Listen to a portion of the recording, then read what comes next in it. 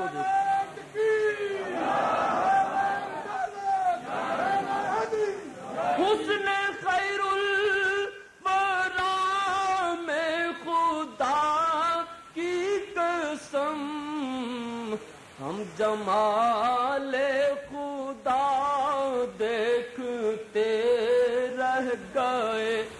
اور پھر سکارے دو عالم علیہ السلاط و سلام خود فرماتے ہیں، من رانی فقد رال حق جس نے مجھے دیکھا، اس نے خدا کو دیکھا۔ حسن خیر الورا میں خدا کی قسم۔ ہم جمال خدا دیکھتے رہ گئے۔ ہم جمال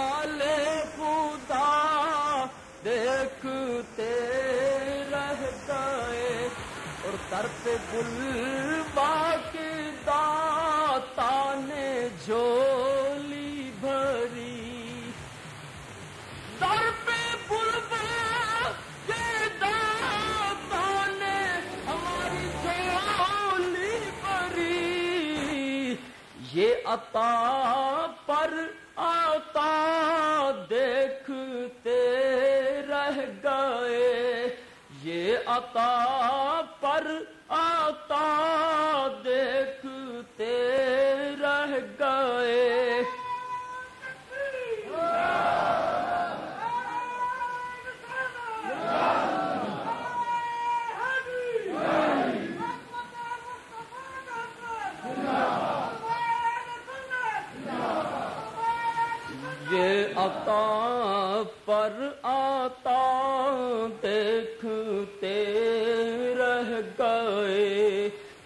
چہرائے ودوحا دیکھتے رہ گئے اور ہم گناہگار پہنچے درے پاک پر۔ ہم گناہگار پہنچے درے پاک پر۔ زاہدو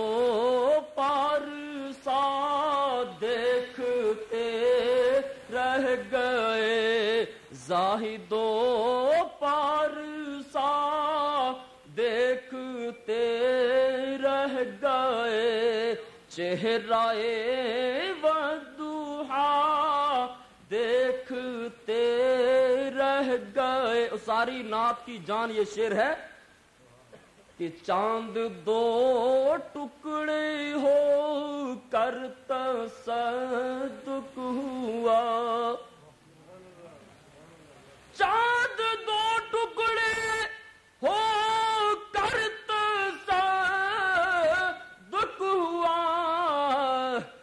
دشمن مصطفیٰ دیکھتے رہ گئے۔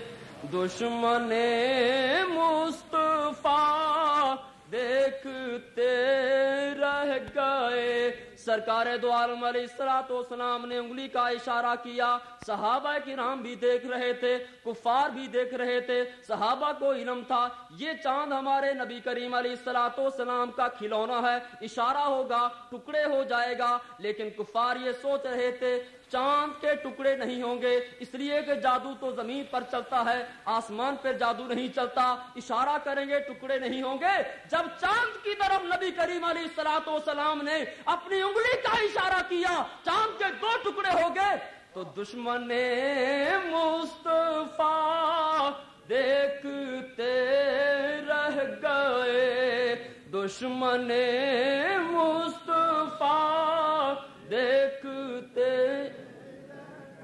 اور رک کے سدرا کی منزل پہ روح الامی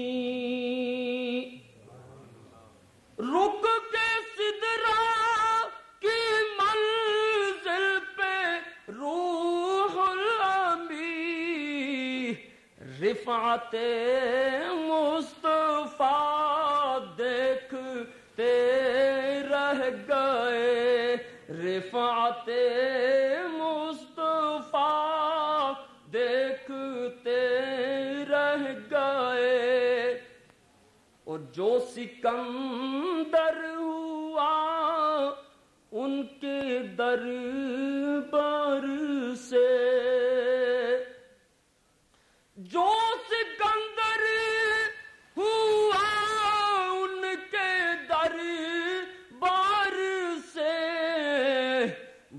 کرم وہ آتا دیکھتے رہ گئے۔ وہ کرم وہ آتا دیکھتے رہ گئے۔ روئے بدرو جا دیکھتے رہ گئے۔ چہرہ دیکھتے رہ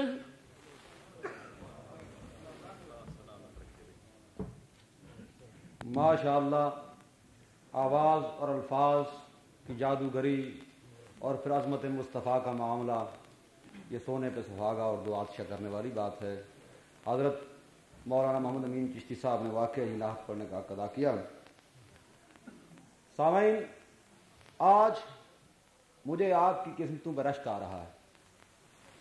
آپ کے سامنے علم کا ایک سمندر ہے اور میں اور آپ ایک پیاسے کی مانند سمندر کے کنارے کھڑے اور پھر یہ بھی دیکھیے کہ حضرت قبلہ پیر طریق ترحبت شہریت، آفتاب ولایت ممبئی سخاوت، حضرت پیر علاء الدین صدیقی، سجادہ نشین، دربار عالیہ نیار شریف ترار تھل بذات خود تشریف لائے، یہ ان کی عنایت ہے۔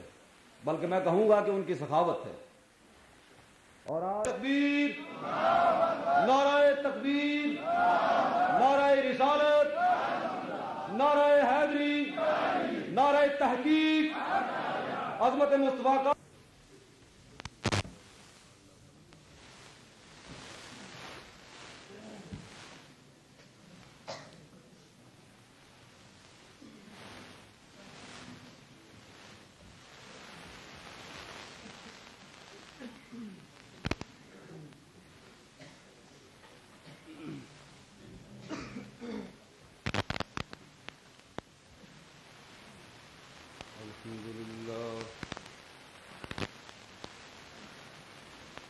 الحمد لله نحمده ونستعينه ونستغفره ونؤمن به ونتوكل عليه.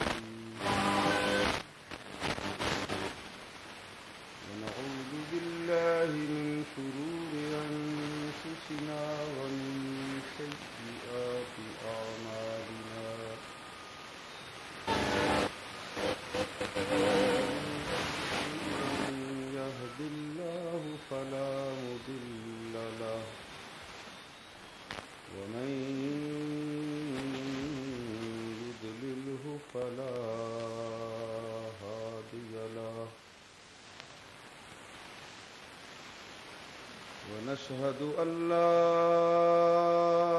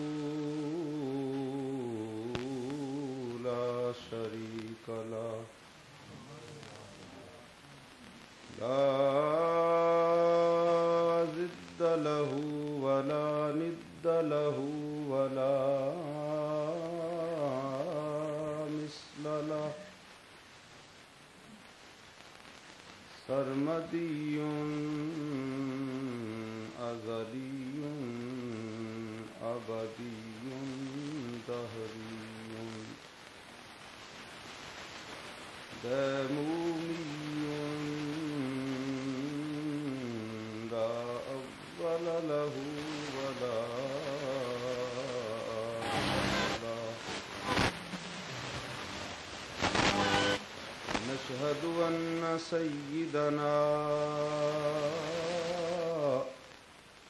وسندنا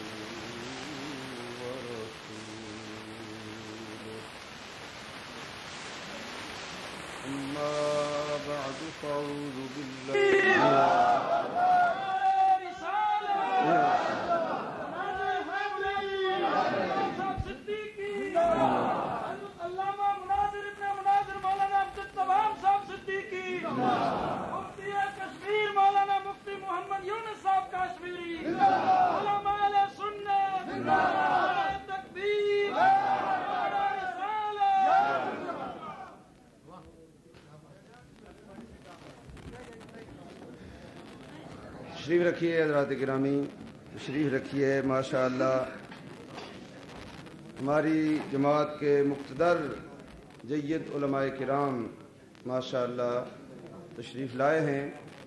اللہ تعالیٰ ان کے علم و عمل اور عمر میں برکتیں عطا فرمائے۔ میں نے آپ حضرات کی خدمت میں قرآن حکیم فرقان مجید سے ایک چھوٹی سی آئے کریمہ تلاوت کی ہے۔ اللہ جل مجدہ ارشاد فرماتا ہے، ورفعنا لک ذکرک اے میرے محبوب، ہم نے آپ کے ذکر کو بلند کیا۔ میرے اور آپ کے آقا و مولا، سید دو عالم، نور مجسم، رحمت عالم صلی اللہ تعالی علیہ وآلہ وبارک وسلم کے ذکر پاک کو میرے اور آپ کے آقا و مولا صلی اللہ تعالی علیہ وسلم کی رفعتوں اور عظمتوں کو کون بلند کر رہا ہے؟ کس نے میرے اور آپ کے آقا و مولا صلی اللہ تعالی علیہ وسلم کی شان کو بلند کیا؟ کائنات کا خالق و مالک، زمین و آسمان کی وسعتوں اور بلندیوں کو پیدا کرنے والا ارشاد فرما رہا ہے اے میرے محبوب، میں نے تیرے ذکر کو بلند کیا۔ اس پہ جبیل امین کی زبان سے ایک بات ارض کرتا ہوں۔ جبیل امین بارگاہ نبوی میں حاضر ہوتے ہیں اور حاضر ہو کر عرض کرتے ہیں۔ اے اللہ کے پیارے محبوب، نبی الانبیاء، حبیب کبریا، پروردگار عالم نے ارشاد فرمایا، ورفعنا لکا ذکرک اے میرے محبوب، میں نے تیرے ذکر کو بلند کیا۔ آپ کے ذکر کو اللہ رب العزت نے کیسے بلند کیا؟ جبیل امین عرض کرتے ہیں اے آقا، پروردگار عالم ارشاد فرماتا ہے، اے میرے محبوب، میں نے تیرے ذکر کو اس طرح بلند کیا ازا ذکر تو ذکرتا مئی، اے میرے محبوب، کائنات کے جس کونے میں، دنیا کے جس کونے میں ذکر خدا ہوگا، وہاں ذکر مصطفیٰ بھی ہوگا۔ جہاں میرا ذکر ہوگا، وہاں تیرا ذکر ہوگا۔ جہاں مجھے یاد کیا جائے گا، وہاں تجھے یاد کیا جائے گا۔ میرے دوستو، آفرین خلق سے لے کر۔ دنیا ابھی مارز وجود میں نہیں آئی۔ کائنات کی یہ رنگینیاں پیدا نہیں ہوئی میرے اور تمہارے آقا و مولا صلی اللہ تعالی علیہ وسلم کا ذکر ہو رہا تھا۔ کائنات پیدا ہوئی۔ کائنات میں انسانیت کا سلسلہ شروع ہوا۔ حضرت آدم علی نبینا و علیہ السلاۃ وسلام تشریف لائے۔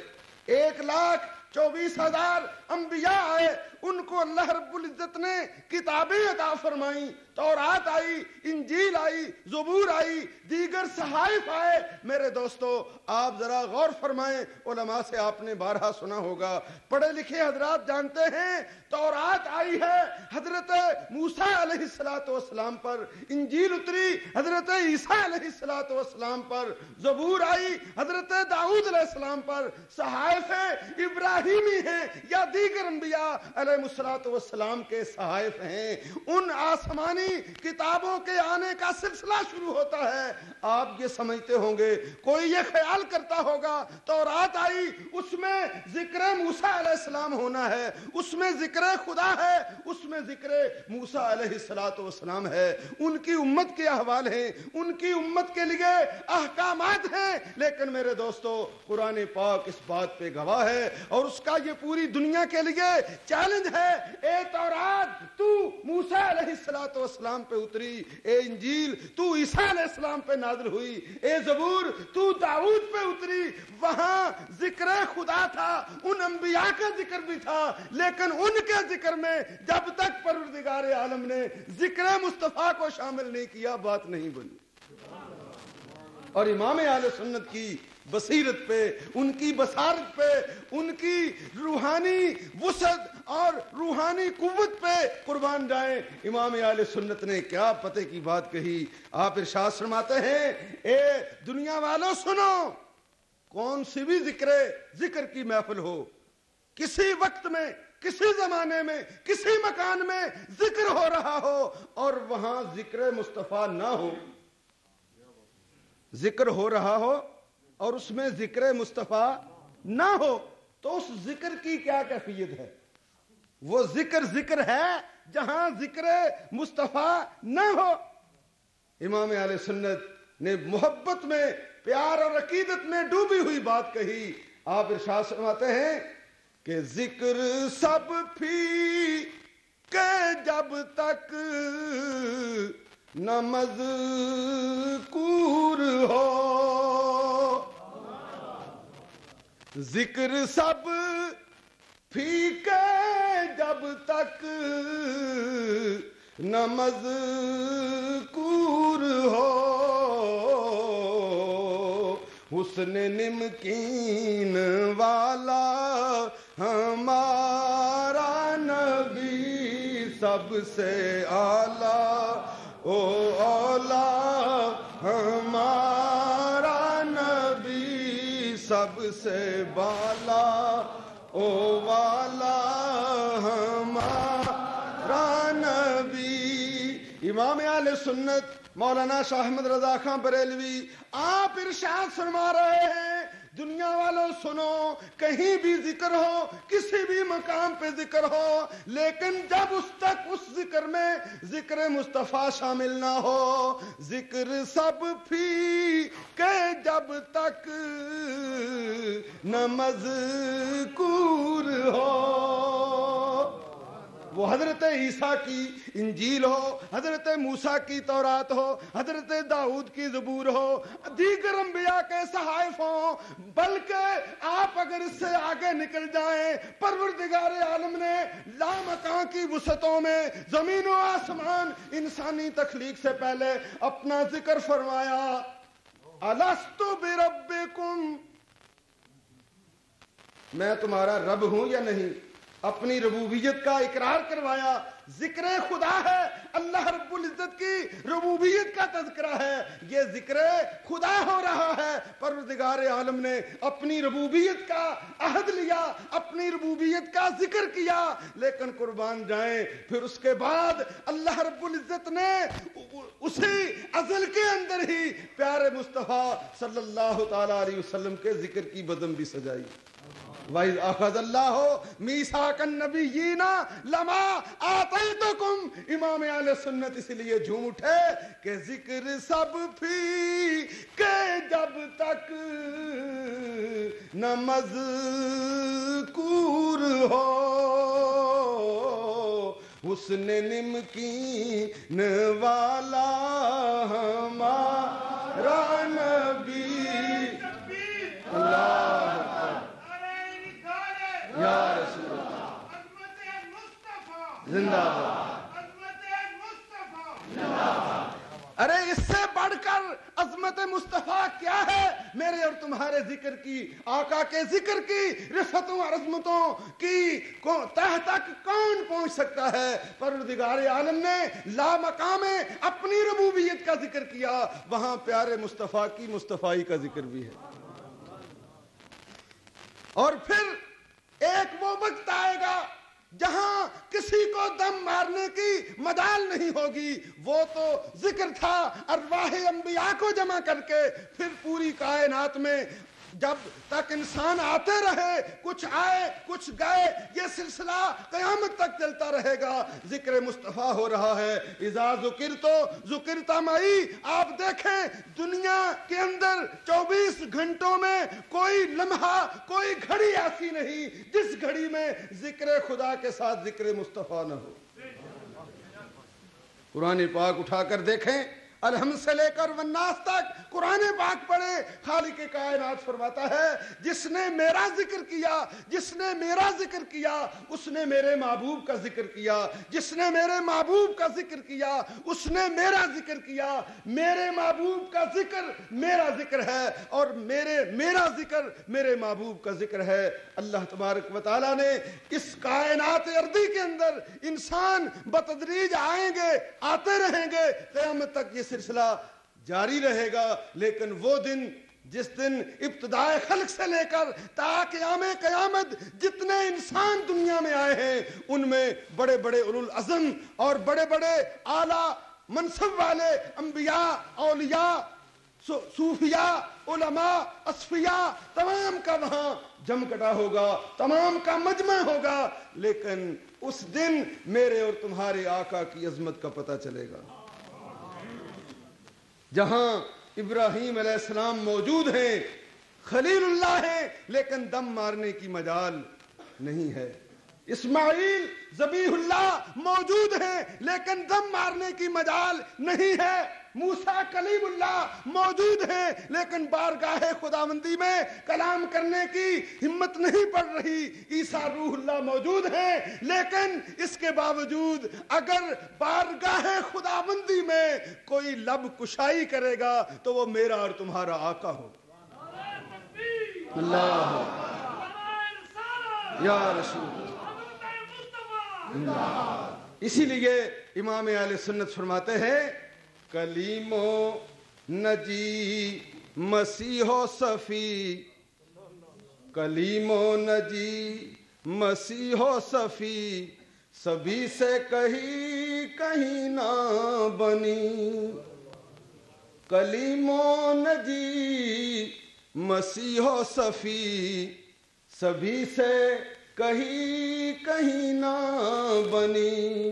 یہ بے خبری کہ خلق پھری، یہ بے خبری، کہ خلق پھری، کہاں سے کہاں تمہارے لیے؟ یہ بے خبری کہ خلق پھری۔ کہاں سے؟ کہاں تمہارے لیے؟ اور گوڑے کے تاجدار بولے، انہوں نے فرمایا، جس دن کوئی نہیں بول سکے گا، کسی کو بولنے کی ہمت اور ضرورت نہیں ہوگی، اس دن میرے اور تمہارے آقا کی عظمت کا پتہ چل جائے گا۔ پروردگار عالم نے وہ دن رکھا، اسی لیے ہے۔ مولانا حسن رضا خان فرماتے ہیں کہ فقط اتنا سبب ہے۔ ان کا دے بل میں معاشر کا۔ فقط اتنا سبب ہے۔ ان کا دے بل میں معاشر کا۔ تمہاری شان محبوبی دکھائی جانے والی ہے۔ اے آقا، وہاں پوری کائنات جمع ہوگی ولین و آخرین جمع ہوں گے۔ کوئی نہیں بولے گا، اسا ایب آسا کا رب کا مقام محمود آپ کے سر اقدس پہ مقام محمود کا تاج رکھا جائے گا۔ وہاں میرے اور آپ کے آقا و مولا کی عظمت کا پتہ چلے گا۔ تائیدار گولڈا بولے، آپ فرماتے ہیں ولا صوفا یوتی کا داس تساں۔ ہے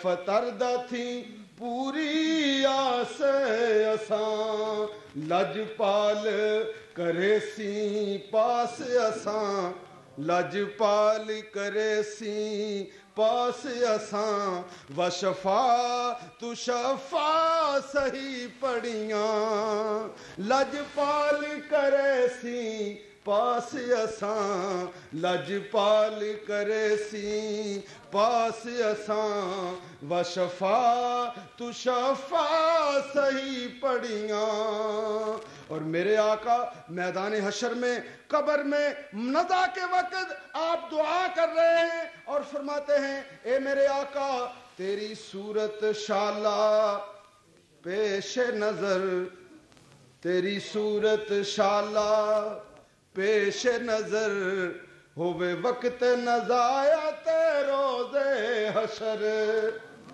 تیری صورت شالا پیش نظر رہے وقت نزایت روز حشر۔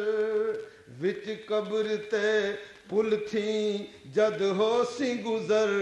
سب کھوٹیاں تھی سن تد کھریاں وچ قبر تے پل تھی جد ہو سی گزر سب کھوٹیاں تھی سن تد کھریاں تو عرض کر رہا تھا میرے اور تمہارے آقا کی عظمت کو اجاگر کرنے کے لیے میدان حشر بھی برپا ہوگا خالق کائنات فرماتا ہے، ورفعنا لک ذکرک اے میرے محبوب، میں نے تیرے ذکر کو بلند کیا، جہاں میرا ذکر ہوگا، وہاں تیرا بھی ذکر ہوگا۔ کائنات کے کونے کونے میں ذکر خدا ہو رہا ہے اور بحمدہی تعالی ذکر مصطفیٰ بھی ہو رہا ہے۔ پروردگار عالم، ہم سب کو اپنے آقا و مولا صلی اللہ تعالی علیہ وسلم کی باریابی نصیب فرمائے۔ وآخر دعوانا ان الحمدللہ نعرہ تکبیر نعرہ تکبیر، نعرہ رسالت، نعرہ تحقیق، عظمت مصطفیٰ کانفرنس، علامہ قبر الزمان صاحب آزمی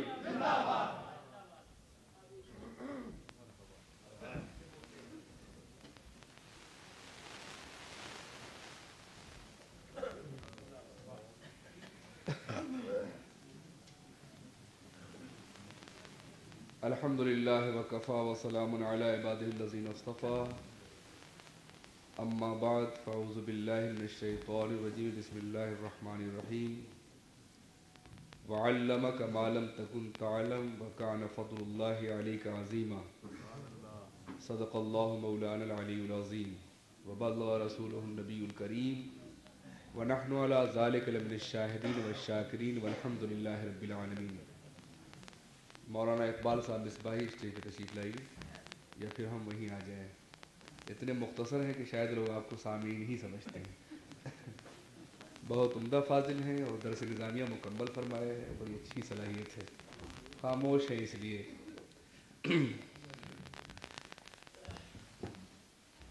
شیخ طریقت، مخدوم الملت، حضرت علامہ پیر علاء الدین صدیقی صاحب مدذل العالی چشم و شرابی خاندان صدیقیہ، حضرت علامہ عبد البہاب صاحب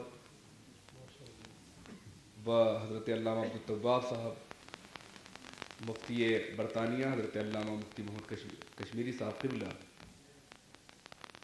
سر بیدار احمد، حضرت علامہ سردار احمد صاحب قبلہ، اور دوسرے علماء کرام معزز حاضرین۔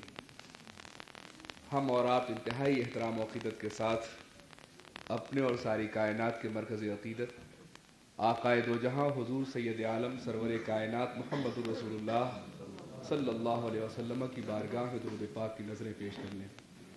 اللہم صلی علی سیدنا مولانا محمد مادنی جود والکرم و الکرام اجمعین وبارک وسلم علیہ ابدا دائما سرمدا مجھ سے خطاب کے لیے حکم کیا گیا ہے۔ طبیعت کی ناسازگی اور تھکن دونوں اس بات کی اجازت نہیں دیتی کہ میں کوئی تفصیلی خطاب پیش کروں۔ چند لمحے ضرور گفتگو کروں گا۔ اپنے اکابر اور مشائق کے ہم کارواں ہونے کا شرف حاصل کرنے کے لیے۔ اب تھکن پاؤں کی زنجیر بنی جاتی ہے۔ راہ کا شوق یہ کہتا ہے کہ بڑھتے رہیے۔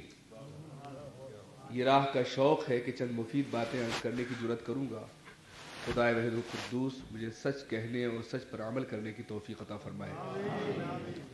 بڑے مبارک ہیں وہ لوگ جنہوں نے اولڈھم کی اولڈھم کی سرزمین پر ایک طویل عرصے کے بعد یہ کانفرنس منعقد کی اور ان تمام ارباب دل اور ارباب محبت کو جمع کر لیا ہے۔ جو ہم مذاق بھی ہیں، ہم مشرب بھی ہیں اور ہم فکر بھی ہیں، ہم نوا بھی ہیں۔ خدا وحد القدوس اسی اجتماع کو اسی طرح سے اپنی بارگاہ میں قبول فرما لے۔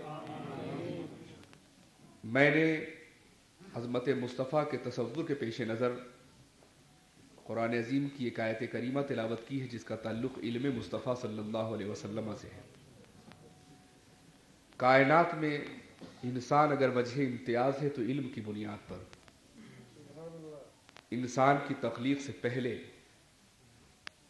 جب فرشتوں کو یہ بتایا گیا کہ میں زمین پر اپنا نائب پیدا کرنا چاہتا ہوں، تو فرشتوں نے بارگاہ الہی میں یہ معروضہ پیش کیا تھا کہ پروردگار عالم، عبادت کے لیے ہم کافی ہیں۔ اس کا جواب علم ہی کے ذریعے سے دیا گیا تھا کہ یہ فرشتوں، میں جو جانتا ہوں وہ تم نہیں جانتے ہو۔ اور اس کے بعد حضرت آدم علیہ السلام کی تخلیق فرمائی گئی۔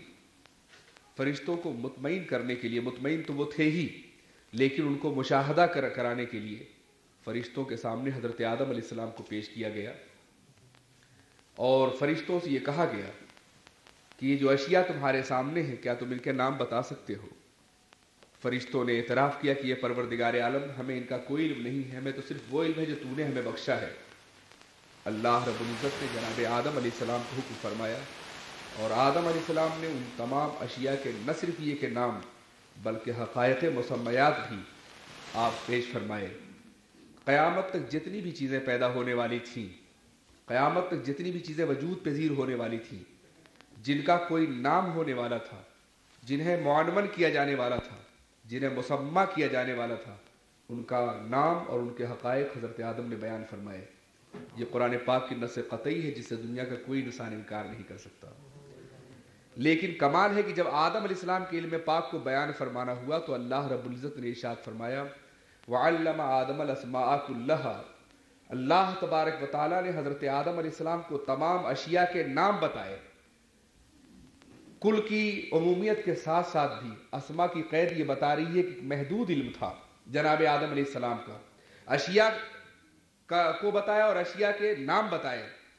لیکن سرور کائنات محمد الرسول اللہ کے علم پاک کو بیان فرمانا ہوا تو کوئی بھی حد سامنے نہیں رکھی گئی۔ کل کی قید کے ساتھ بھی نہیں۔ اور نہ ہی اسما کہہ کر کے، بلکہ ماں کی وہ عمومیت جو اپنے دائرے میں ساری کائنات کو سمیٹ سکتی ہے، بلکہ کائنات سے ورا الورا اگر حقیقتیں ہیں تو انہیں بھی سمیٹے ہوئے ہیں۔ اس ماں کی عمومیت کے ساتھ رسول پاک کا علم بیان کیا گیا۔ وَعَلَّمَكَ مَا لَمْ تَكُنْ تَعْلَمْ تعلم۔ وَكَانَ فَضُ اللَّهِ عَلَيْكَ عَظِيمًا۔ اے رسول، صرف اسما اور ان کی حقیقتیں نہیں، بلکہ جو کچھ بھی آپ نہیں جانتے تھے، پروردگار عالم نے وہ سب کچھ عطا فرمایا آپ کو۔ عزیزان ملت اسلامیہ آپ جناب آدم علیہ السلام کے علم پاک کی عظمتوں کا جائزہ لیجیے تاکہ سرور کائنات محمد الرسول اللہ صلی اللہ علیہ وسلم کے علم پاک کی حقیقتوں کا اکتشاف ہو سکے اور آپ کے ذہن میں وہ عظیم ذات گرامی جس کا منصب یہ ہے کہ غسالہ جس کے قدم قدموں کا، زلال آب حیوانی، تراشا جن کے ناخن کا ہلال چرخ گردونی، غسالہ جن کے قدموں کا زلال آب حیوانی وہ امی جس کے آگے مہر برلب بلبل سدرا، وہ ناطق جس کے آگے اقل کل تفل دبستانی۔ اس ذات پاک کے بارے میں جاننے کے لیے ضروری ہے کہ آپ حضرت آدم علیہ السلام کے علم پاک کو جانیں۔ سیدنا آدم علیہ السلام کو کائنات میں جتنی بھی چیزیں ہونے والی تھی ان کے نام بتائے گئے اور مفسرین کرام نے صرف نام ہی نہیں، بلکہ ناموں کے، کی حقائق اور اشیاء کے حقائق کی بھی تشریحات فرمائی ہیں۔ تفسیریں آپ پڑھیں گے تو آپ محسوس کر سکیں گے۔ اب میں یہ عرض کرنا چاہتا ہوں کہ قیامت تک کتنی ہی چیزیں تخلیق پذیر ہوتی ہیں، کتنی ہی چیزیں پیدا ہوتی ہیں، کتنی ہی چیزیں وجود پذیر ہوتی ہیں، کتنی ہی چیزیں بنائی جاتی ہیں، بنائی جاتی رہے گی۔ انسان روز بروز اپنے سامنے اکتشافات کی بنیاد پر، انکشافات کی بنیاد پر ہزاروں حقائق کو واشگاف کر رہا ہے۔ ہزاروں ایسے حقائق ہیں جو ابھی تک واشگاف کیے نہیں جا سکے ہیں۔ ابتدائی دنیا دنیا کا بسنے والا انسان اپنی محدود زندگی کے ساتھ گزر کر رہا تھا اور اس کے بعد جیسے جیسے علم ترقی کرتا گیا نئی نئے مراحل سامنے آئے، نئے نئے مکاشفات سامنے آئے اور نئی نئی اشیاء سامنے آئی، نئے نئے نام دیے گئے، نئی نئی چیزیں بنائی گئیں اور ان کے نئے نئے نام وضع کیے گئے۔ مگر یہ قرآن کا فیصلہ ہے کہ قیامت تک جو چیز بھی وضع کی جائے گی اور جو شے بھی سامنے آئے گی، جناب آدم کے ذہن پاک میں اس کا نام پہلے سے موجود تھا۔ کبھی آپ نے علم و تحقیق کی دنیا میں قدم رکھنے سے پہلے یہ سوچا کہ ایک انسان جن راہوں سے گزرتا ہے، ان راہوں میں اچانک وہ کسی شے کو دریافت کر لیتا ہے اور اس حقیقت کا اظہار اپنے ذہن و فکر کے ذریعے سے، اپنی زبان کے ذریعے سے کرتا ہے۔ ایک چیز کی دریافت کیوں ہوتی ہے؟ اس پہ دنیا کا ہر صاحب ہوش متفق ہے کہ کسی لاشے کو موجود کر دینا انسان کے بس کی بات نہیں ہے۔ معدوم کو موجود کرنا ناممکن ہے۔ یہ کیا معاملات ہے کہ مجھولات کو ترتیب دے کر کے، معلومات کو ترتیب دے کر کے مجھولات کا علم حاصل کیا جاتا ہے۔ لیکن کبھی کبھی ایسا بھی ہوتا ہے کہ معلومات کے گوشے نہیں ہیں سامنے اور کسی مجھول کا علم حاصل کر لیا گیا۔ ایک انسان کسی درخت کے نیچے بیٹھا ہے، ایک سیب گرتا ہے، تھوڑی دیر تک سوچتا اور بے ساختہ پکار اٹھتا ہے، زمین کے اندر کوئی کشش موجود ہے۔ جو درخت کے اوپر سے گرنے والے اس سیب کو اپنی طرف کھینچ لیتی ہے ٹوٹنے والے کو، ورنہ یہ سیب اوپر بھی جا سکتا تھا۔ ایک صاحب ہوش ایک سمندر کے کنارے بیٹھا ہوا ہے۔ اس پہ کسی چیز کو تیرتا ہوا دیکھتا ہے اور بے ساختہ کہتا ہے کہ تیرنے والی شہ سطح کو جس قدر پھیلائے گی، اسی قدر زیادہ وزن کو پانی کے اوپر منتقل کر سکے گی۔ آپ یہ دیکھ رہے ہیں کہ پوری دنیا میں اکتشافات کی بنیادیں ایسی ہی ہیں کہ ایک انسان نے کوئی بات سوچی، اس پہ چل پڑا اور اس کے بعد پھر علم و فکر کی بنیادیں استوار کی گئی ایک انسان کھانا پکا رہا ہے بھاپ نے بار بار ڈھکنا اٹھا دیا اور اس کے بعد بے ساختہ وہ کہہ کہنے کہنے کے قابل ہو گیا کہ بھاپ کے اندر اتنی طاقت ہے کہ اس کے ذریعے سے ریل چلائی جا سکتی ہے، بڑی بڑی گاڑیاں چلائی جا سکتی ہیں۔ ذہن انسانی کے اکتشافات جو آج چاند پہ کمندے ڈال رہے ہیں، سورج کی شعاؤں کو گرفتار کر رہے ہیں زمان و مکان کی وسعتیں سمٹی ہوئی نظر آ رہی ہیں۔ آج انسان اپنی توانائیوں کی بنیاد پر ذرے کا سینہ چیر کر آفتاب کی عظمتوں کو محسوس کر رہا ہے۔ یہ سب کچھ اس لیے ہو رہا ہے کہ ذہن انسانی کے لاشعور میں پہلے ہی سے کوئی بات موجود تھی۔ معدوم کو موجود نہیں کیا جا سکتا ہے۔ حضرت آدم علیہ السلام کو قیامت تک کے حقائق اور مسمیات کا علم بخشا گیا تھا۔ اب جو کچھ بھی اولاد آدم منکشف کرے گی، وہ حضرت آدم کا علم ہی ہوگا، جو آدمی منتقل ہوتا ہوا نظر آئے گا۔ یہ حضرت آدم کا علم ہے، جو ورثتاً منتقل ہوتا ہے۔ یہ حضرت آدم کا شعور ہے، جو ورثتاً منتقل ہوتا ہے۔ یہ حضرت آدم کی فکر ہے، جو ورثتاً منتقل ہوتی ہے۔ جیسے جیسے زمانہ ترقی کرتا جائے گا، آدمیت آدم کے ورثے سے کائنات کو نوازتی جائے گی، کائنات کو معمور کرتی جائے گی۔ حضرت آدم کو علم دیا گیا تھا۔ باپ اپنے بیٹے کو اتنا ہی دیتا ہے جتنی کی اس کی ضرورت ہوتی ہے۔ بیٹا دس سال کا ہے، چند پینس دے دیتا ہے۔ بیٹا بارہ سال کا ہوا، ابھی سنبھالنے کی قوت ہے، پاؤنڈ دیتا ہے۔ بیٹا اٹھارہ سال کا ہوا، سب کچھ اس کے حوالے کر دیتا ہے۔ انسانی دنیا ترقیات کی طرف دن بدن بڑھتی جا رہی ہے۔ جیسے جیسے انسان آگے ترقی کر رہا ہے، ذہن آدم انسان کو معلومات کا خزانہ منتقل کر رہا ہے، اکتشافات کا خزانہ منتقل کر رہا ہے۔ لیکن بنیاد آدم کا ذہن ہے، آدمیت کا بولا شعور ہے۔ جو اپنے اندر سب کچھ محفوظ کیے ہوئے ہیں۔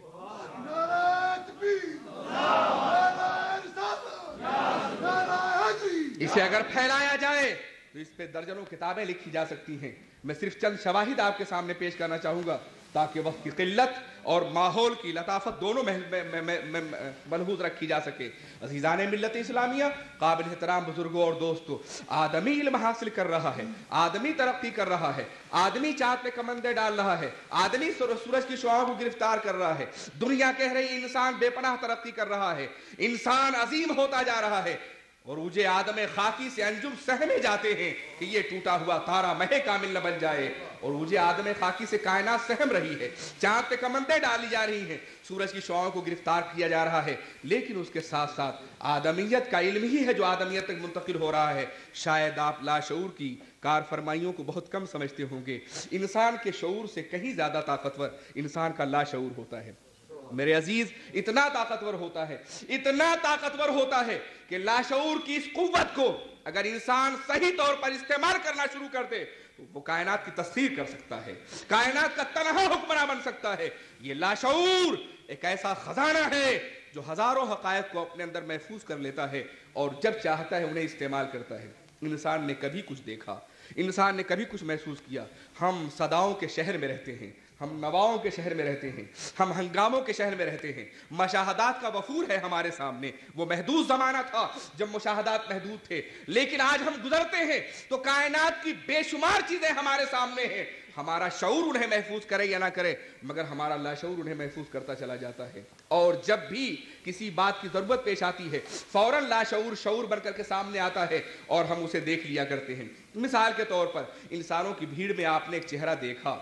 دس سال کے بعد اچانک وہ چہرہ سامنے آیا۔ آپ کا شعور تو بھول چکا تھا، لیکن لاشعور نے اس تصویر کو محفوظ کر لیا تھا۔ اب آپ سوچ رہے ہیں، ہم نے یہ چہرہ کہیں دیکھا تھا۔ ہم نے یہ صورت کہیں دیکھی تھی، بے ساختہ آپ کو یاد آتا ہے۔ دس سال پہلے لندن میں کانفرنس ہوئی تھی، اس میں ہم نے آپ کو چہرہ دیکھا تھا۔ اگر شعور میں وہ چہرہ ہوتا تو ہر وقت آپ کو یاد رہتا، لیکن لاشعور کے خانے میں تھا۔ جب لاشعور نے شعور کی طرف منتقل کیا، تب آپ نے اس چہرے کو یاد کر لیا، تب آپ نے اس چہرے کو محفوظ کر لیا۔ انسان کی پوری میموری انسان کی پوری قوت حافظہ، انسان کی یادداشت ماضی کی طرف لوٹنے کی بے پناہ قوت بچپن کی یادیں اور ماں باپ کے علمی ورثے، ان کی عادات اور اخلاق و عادات، یہ سب کے سب لاشعور کے کرشمے ہیں جو انسانی ذہن منتقل ہوتے ہیں اور انسانی فکر کی ترتیب اسی بنیاد پر ہوتی ہے۔ لاشعور پر لکھی جانے والی کتابیں لاکھوں کی تعداد میں ہیں جو مغربی دنیا میں مل رہی ہیں اور مشرقی دنیا میں مل رہی ہیں۔ لاشعور کا عالم بڑا عجیب ہے۔ انسان بہت کچھ اپنے آبا و اجداد سے لیتا ہے۔ اب کبھی کبھی مجھے اچھی طرح سے یاد ہے، ہندوستان میں حضرت بانی درسگاہ عالیہ مراد آباد کے سامنے ایک مسئلہ پیش آیا۔ کسی شخص نے یہ کہا کہ ایک بچہ جو ہے، ایک ہندو بچہ، وہ آٹھ سال کا حافظ ہے۔ آٹھ سال کا حافظ ہے۔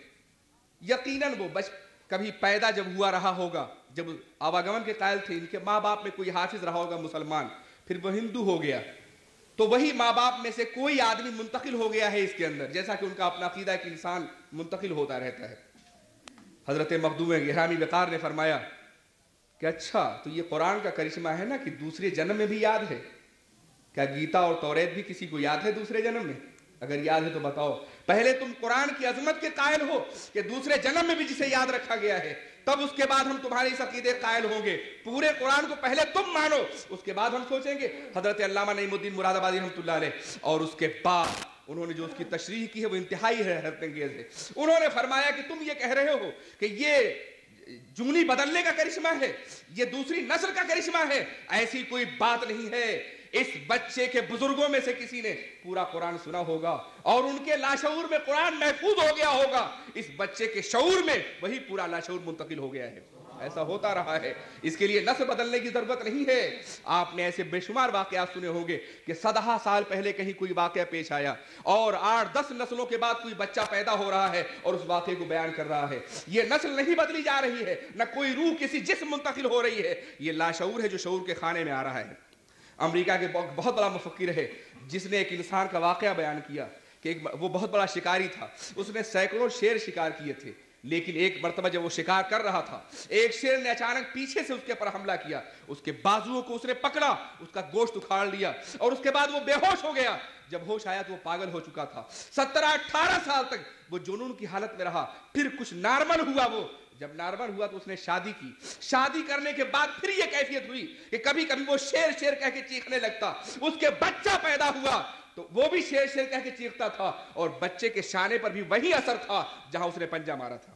پتا یہ چلا کہ باپ اور بزرگوں سے ذہن بھی منتقل ہوتا ہے، فکر بھی منتقل ہوتا ہے، حادثہ بھی منتقل ہوتا ہے، خیال بھی منتقل ہوتا ہے، عادات و اتوار بھی منتقل ہوتے ہیں۔ یہ تو آئے دن آپ دیکھ رہے ہیں۔ کہ باپ کی جو صورت ہے وہی بچے کی صورت ہے۔ باپ جس طرح چلتا ہے اسی طرح سے بچہ بھی چلتا ہے۔ باپ جس طرح سے بولتا ہے ویسی بچہ بھی بولتا ہے۔ باپ جو انداز گفتگو اختیار کرتا ہے بچہ بھی وہی اختیار کرتا ہے۔ باپ جو پسند کرتا ہے بچہ بھی وہی پسند کرتا ہے۔ باپ جو ناپسند کرتا ہے بچہ بھی وہی ناپسند کرتا ہے۔ جب پسند منتقل ہو سکتی ہے، ناپسند منتقل ہو سکتی ہے، جب اخلاق منتقل ہو سکتے ہیں، کردار منتقل ہو سکتے ہیں، ذہن منتقل ہو سکتا ہے، حادثہ منتقل ہو سکتا ہے، شعور منتقل ہو سکتا ہے، مشاہدہ منتقل ہو سکتا ہے تو آدم کا علم کیوں نہیں منتقل ہو سکتا؟ یہ علم آدم ہے جو منتقل ہوتا جا رہا ہے۔ یہ شعور آدم ہے جو منتقل ہو رہا ہے۔ یہ فکر آدم ہے جو منتقل ہو رہی ہے۔ جب بھی دنیا کا کوئی آدمی کوئی نیا انکشاف کرتا ہے، تو وہ آدم کا ورثہ ہے جو پیش کر رہا ہے۔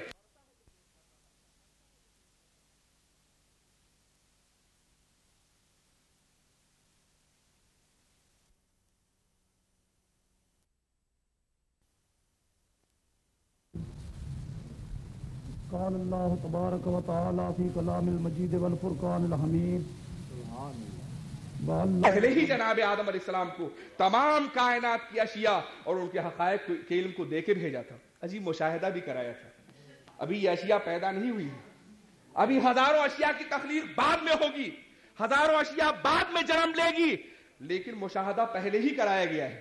حضرت آدم علیہ السلام نے کائنات کی تمام اشیاء کا خود مشاہدہ فرمایا تھا۔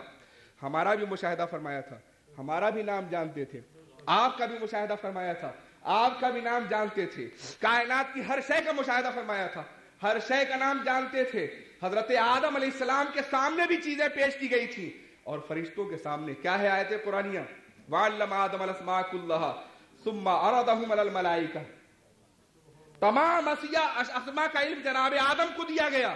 اور پھر انہی اشیاء کو فرشتوں پہ پیش کیا گیا۔ فرشتے تو نام نہ بتا سکے، مگر آدم نام بتاتے چلے گئے۔ چیزیں ابھی پیدا بھی نہیں ہوئی ہیں، مگر آدم کو بتا بھی دیا گیا اور دکھا بھی دیا گیا۔ ہے عزیزان ملت اسلامیہ، جن کے علم پاک کو محدود کر کے بیان کیا گیا، ان کے علم کا تو یہ عالم ہے کہ آدمی جو کچھ پیش کر رہا ہے وہ آدم کا ورثہ ہے۔ اور جس رسول کے علم کو لامحدود کر کے بیان کیا گیا ہو، بتاؤ اس کے علم کا عالم کیا ہوگا اور اس کے فضل کا کیا عالم ہوگا۔ وَعَلَّمَكَ مَا لَمْ تَكُنْ عزیزان ملت اسلامیہ، اب آئیے میں آپ کو قرآن عظیم کے حقائق بیان کروں اور بتاؤں کہ انسان جتنا ترقی کرتا جائے گا، سرور کائنات کا علم، ان کی عظمت، ان کی برتری، ان کے وقار اور ان کی بزرگی کا اعتراف کرنا اسے ضروری ہوگا۔ قرآن عظیم ارشاد فرما رہا ہے، کوئی رتب و یابس ایسا نہیں ہے جس کا علم قرآن کے اندر موجود نہ ہو۔ میں عرض کرنا چاہتا ہوں، جس کا ذکر قرآن کے اندر موجود نہ ہو۔ ہر رتب و یابس کائنات کی قرآن کے اندر موجود ہے اس کا تو یہ عالم ہے کہ حضرت امام یوسف رحمۃ اللہ علیہ کے زمانے میں کسی کے ہاں بچہ نہیں پیدا ہوتا تھا۔ آٹھ دس سال کی مایوسی کے بعد ایک بچی پیدا ہوئی تو باپ نے خوشی سے قسم کھا لی کہ جب یہ بچی بڑی ہوگی تو اس کے جہیز میں پوری دنیا کی چیزیں دے دوں گا۔ پوری دنیا کی چیزیں۔ قسم کھا لی۔ آج کا انسان ہوتا تو کہتا جوش کی قسم تھی، کیا پرواہ ہے۔ لیکن اس زمانے کا انسان بڑا محتاط تھا۔ بچی بڑی ہوئی، کسی نے یاد دلایا۔ کسی نے یاد دلایا کہ قسم آپ نے کھائی تھی کہ پوری دنیا کی چیزیں جہیز میں دیں گے آپ؟ اب اس بچی کو پوری دنیا کی چیزیں جہیز میں دے دیجیے اب وہ تو گھبرایا، اتنا گھبرایا وہ شخص کی قاضی امام ابو یوسف رحمۃ اللہ علیہ کی بارگاہ میں حاضر ہوا۔ حضور میں نے ایسی قسم کھا لی ہے کہ بچی کی جہیز میں پوری دنیا کی چیزیں دوں گا۔ تو فرمایا پریشانی کی کیا بات ہے؟ قرآن دے دو۔ قسم پوری ہو جائے گی۔ قرآن دے دو، قسم پوری ہو جائے گی۔ پتا چلا کہ یہ محض مبالغہ نہیں تھا محدثین اور فقہا کے ذہن میں، بلکہ ایک زندہ حقیقت تھی کہ کائنات کی ہر شے قرآن کے اندر موجود ہے۔ سیدنا علی ابن ابی طالب فرماتے ہیں کہ اگر میں بسم اللہ کی بے کی تشریح کروں تو ساٹھ اونٹوں کا بوجھ بن جائے۔ وہ ارشاد فرماتے ہیں کہ اگر میرے اونٹ کی نکیل بھی غائب ہو جائے تو میں قرآن کے ذریعے سے تلاش کر سکتا ہوں۔ آپ اندازہ کیجیے کہ معارف کے یہ خزانے جو قرآن عظیم کے اندر موجود ہیں، ان کا اندازہ کون کر سکتا ہے؟ وہ باب مدینہ العلم جنہیں براہ راست فیضان تھا سرور کائنات محمد رسول اللہ صلی اللہ علیہ وسلم سے۔ وہ ارشاد فرماتے ہیں کہ قرآن پاک کے علم کا احاطہ نہیں کیا جا سکتا ہے، اس لیے کہ اللہ کا نازل کیا ہوا کلام ہے۔ جیسے جیسے دنیا ترقی کرتی جائے گی انکشافات کے ذریعے سے قرآن پاک کی عظمت اور زیادہ واضح ہوتے جائے گی۔